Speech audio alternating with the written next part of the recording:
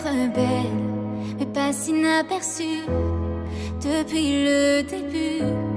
Elle voudrait tellement beaucoup plus d'attention. Elle envie toutes ces images, elle veut leur corps, leur visage. Elle ne voit pas sa lumière briller, même ses yeux ne savent plus la trouver. Qui a bien pu la rendre aveugle? Elle tente de cacher sa douleur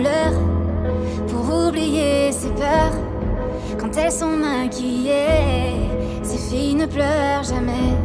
Mais il y a un espoir qui t'attend dans